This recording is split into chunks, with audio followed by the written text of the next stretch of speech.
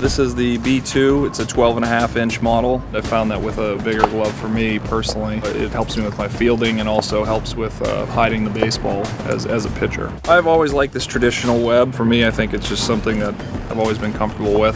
When it breaks in, it's, it's even right now, it's just perfect. Fits right in my hand the way I like it. For me, I just like to, a little bit of oil, start playing catch with it, and uh, it's good to go.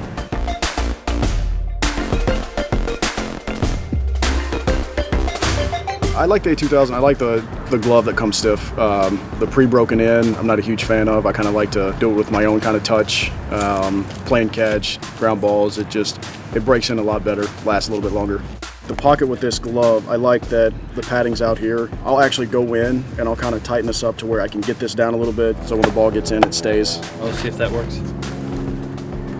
Oh yeah, Much better? now you're working. Okay, I'll go move that one for this one too. Perfect. I always try to keep the old school Wilson yellow in the glove. I like that.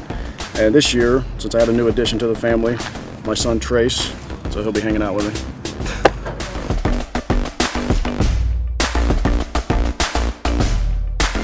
I love this glove. And uh, usually in the game I use a three quarter, so uh, went with three quarter H web. It's a web that I've always used. When I close it, it doesn't ever make that weird kind of like split in the middle. It it's kind of stays flat all the time. And I've always had a pretty good time finding the ball in it, which which helps. The thing I like about Wilson the most is most of them you can take them out of the box and they're uh, a day or two away from being able to use them in a game. So the leather's great.